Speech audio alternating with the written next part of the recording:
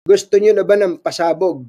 Gusto niyo na ba ng pasabog tungkol kay BBM, tungkol sa cocaine uh, uh, issue? O, sabihin niyo muna, gusto. eto na, eto na. Sorry na, sorry na. Huwag ka na magalit. Huwag na kayo magalit. Oh. Uh, ang totoo nun, mahirap po itanong yan. Ha? Uh, bilang isang journalist, mahirap po itanong yun sa mismong uh, parang inaakusahan ng, uh, ng paggamit ba naman ng cocaine. Paano mo naman itatanong yun? Uh, sir, gumagamit ka ba ng cocaine? Nahirap talaga itanong yun. Oh, eh, eh dahil nag-aapura kayo, eto na. Pasusulyapin ko lang po kayo sa isang portion ng ating interview with BBM. Bil- Huwag kayong kukurap ha, sulyap lang ha, kasi mabilisan lang to ha. Ang palatuntunang isang saglit. Take it away. Okay. Tatanong ko ito, baka sabihin ng mga nanonood, iniwasan ko itanong. Mm. Tatanong ko, Mm. kayo po ba eh handang magpa-drug test?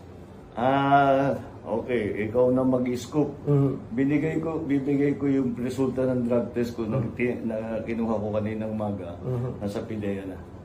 Ah, meron na po. Oh, tapos na. Ganun po. Mm-mm. Totoo ba? Uy, scoop to. Pag-iiram pa eh. Saan po kayo nagpa, nagpa-drug test? po? Sa hospital. Mhm. Mm. Kaya po. Kasi eh, nananawagan ako, sinasabi ko, eh, lahat eh, sa katapos ng salita ni Pangulo, eh, sabi ko, di lahat tayo, pa-drug test. Mm. O, di, unahan ko na. Aha. So, ako nang nauna. Ah, Kaninang umaga, Umaga. umaga pa. Oo. Mas Mariano kain doon. Nakais ko pa. Nakais ko. Sir, maraming salamat sa Okay, scoop. thank you. Oh, thank you so much. Uh, pwede po bang imbitahan yung mga kababayan natin panoorin itong usapan natin na to? Ah, oo, ating mga kasama, mga ah, lahat ng mga mga ating mga kaibigan at eh, manood kayo dito sa aming ah, mga kaunting ah, ano, Oo. kaunting ah, satsatan at. Opo. Maraming salamat. Magandang gabi, gabing-gabi na. Oo, gabing-gabi na. Eh, kaya lang, sinabi sa akin, nagpa-drug test kayo, dinala sa PIDEA. Oo. Ano po ba result? Yeah. para lang, ah, alam ko namang, alam ko naman, para manggaling na po sa inyo yung diretso. Ah, wala, syempre negative. Ayun! Yan, sinabi ko lang po yun. Sabi ko, alam ko naman yung sagot. No. Pero masarap na marinig ka direct from the man himself. Sir, thank you so much. Thank you. Salamat. Salamat po. Ayun. Kayo na, kana, kayo nang uh, naka-scoop kayo. Oh, yung mga nanonood sa atin sa TuneIn Ketunying at sa Facebook page na to ng Anthony Taberna. Ang gagawin nyo lang, like and share. Ayan, subscribe and share this video. Ganon, ano? Ngayon, meron tayong update. Ito po, kapapasok lang po na balita. eh bakit? Nakalabas ba ito? Ha?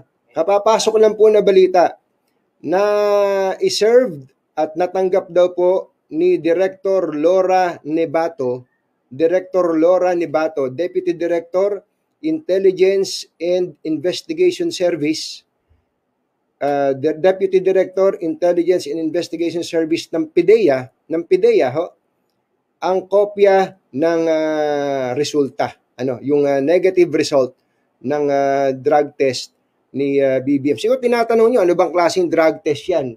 Eh katulad din po nung drug test na kung na na uh, ano ba tawag doon? Sinailaliman that Senator Ping Lacson and um, and uh, uh, Senate President Tito Soto uh, underwent. Ayun, ganun po ano. Uh, thank you po Attorney Vic Rodriguez sa message po ninyo. Katatanggap lang po niya. Ngayon, uh, sigurado merong masasabi pa rin kayo din. Eh, At least binigyan ko kayo ng uh, breaking news. Ang susunod na tanong, saan po siya nagpa-drug test? Saan ba siya nagpa-drug test? Ito po ano. Ah ayon sa ating bubuwit, Deyo makalma. Uh, ayon sa ating bubuwit, ah nagpa-drug test daw po si uh, BBM sa St. Luke's. St. Luke's. Ang tanong niyo siguro, saang St. Luke's? Eh, dalawa lang naman yan. Yung uh, St. Luke's E. Rodriguez at dun sa amin, sa lugar naming mayayaman, sa BGC. O, hulaan nyo kung saang uh, St. Luke's. Kaya lang, ah, hindi naman na natin nasamahan si Senator Bongbong Marcos sa pag-ihi niya. Mahirap na umiihi siya, sisilip-silip tayo. Baka makasuhan naman tayo doon. So, yun po yung drug test na kanya pong ah, ah, ah, dinaanan. Ayan po. Ulitin po natin sa latest ah, report ni Marites. ni Marites ay uh, po, natanggap na po ng ah, PIDEA, natanggap na po ng PIDEA ang ah, ang ah, kopya ah, nito pong ah, drug test ni Senator Bongbong Marcos. Ah, ulitin po natin yung pangalan ng tumanggap, si ah, ah, Deputy Director Laura Nebato, Deputy Director for Intelligence and Investigation Service ng PIDEA. So, ewan ko lang kung yung iba nagpa-drug test na. So, meron na tayong dalawang kandidato sa pagkapangulo na nagpa-drug test. Yung ah, iba nam- yung iba naman baka gusto niyo pang humabol sa drug test. Eh no problem. Ah, at tapos i-share niyo rin sa amin. Sino pa? Si VP Leni Robredo, baka gusto niyo magpa-drug test dahil sabi Senator Manny Pacquiao, Mayor Isko Moreno. Meron pa isa eh, John, si Lyodi. Si Lyodi Di Guzman, hindi natin na hindi natin na babanggit si uh, Lyodi Di Guzman.